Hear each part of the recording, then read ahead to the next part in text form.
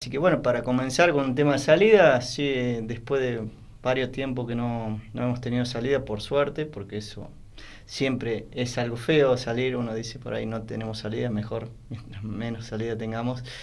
Pero bueno, se empezó con la época de invierno, eh, la época de sequía y también por la época de viento, por lo cual cada vez este, en el mes de agosto se pone más peligroso el tema de propagación de incendios. Y bueno, el sábado comenzamos también con un incendio de pastura que fue en uno de los campos de la localidad. También se ha propagado dentro de lo que es el cuadro de la casa sin mayores inconvenientes. Eh, la dotación pudo sofocarlo enseguida. Ahí se trabajaron con dos dotaciones de, bomberos. Y bueno, se prosiguió el día domingo también con otro incendio de pastura, que es eh, ya en el límite contra la jurisdicción de los bomberos de Jovita, por lo cual ellos también acudieron a- al siniestro. Eh, trabajamos en forma conjunta con ambas ¿Cuántas dotaciones? Eran dos dotaciones de Levalle y una dotación de, de Jovita. Eh, en principio, bueno, el incendio se comenzó en la- lo que es Banquina, de, de lo conocida curva de Loiza, que se le denomina.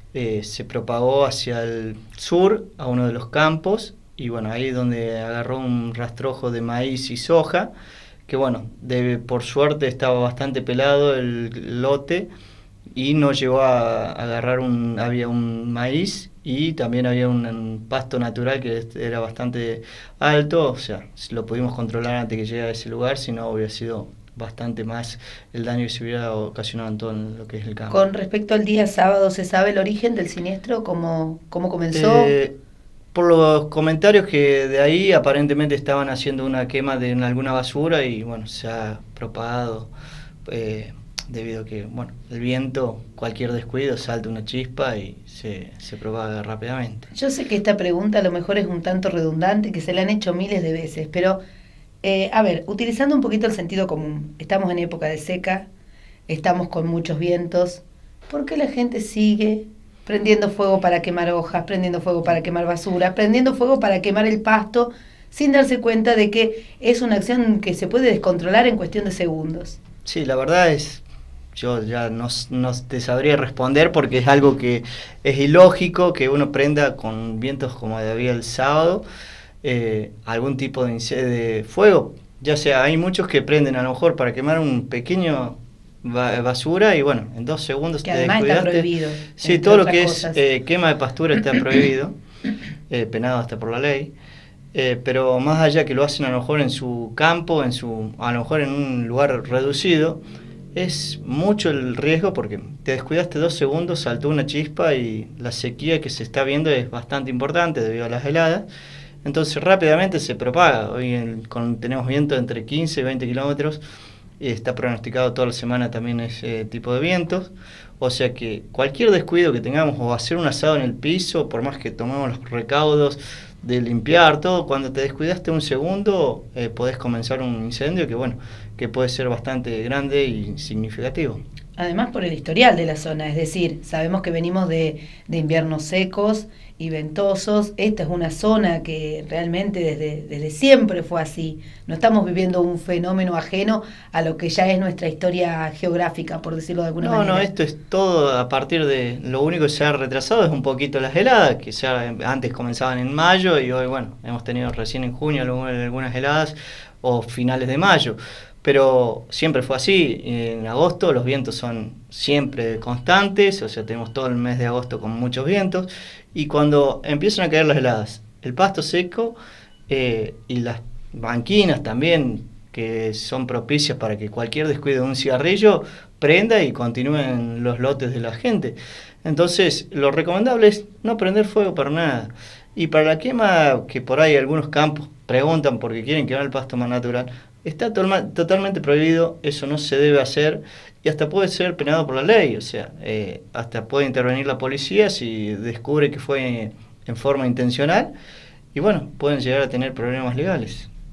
Además de bueno otros problemas como por ejemplo lamentar la, la, la pérdida de vidas, que ya sería un caso extremo, pero Sí. que puede suceder. Sí, sí, eso también puede llegar a pasar. O sea, uno arranca un incendio, a lo mejor en, en un lote, que no hay nada, pero se puede continuar desplazándose hasta lugares donde están eh, eh, viviendas. Nos ha pasado en incendios que bueno que ha llegado hasta cerca de los de los, los cuadros donde están todas las viviendas y bueno, como decís vos, puede llegar a pasar algún día alguna tragedia.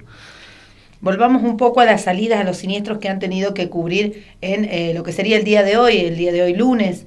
Sí, hoy comenzamos bueno, con un siniestro eh, leve que bueno, eh, tuvimos que ir a rescatar un animal, o sea, ya nos ha pasado antes, generalmente un felino que se sube a algún tipo de árbol, en este caso era una palmera, bueno, estaba ahí arriba hacía tres días y bueno, nos pidieron la colaboración eh, fue una dotación la cual... Muy de historial bomberil. Sí, el hecho de llamar a los bomberos para eh, rescatar un gato. Se escucha mucho en la televisión, nosotros no nos estaba, no venía pasando.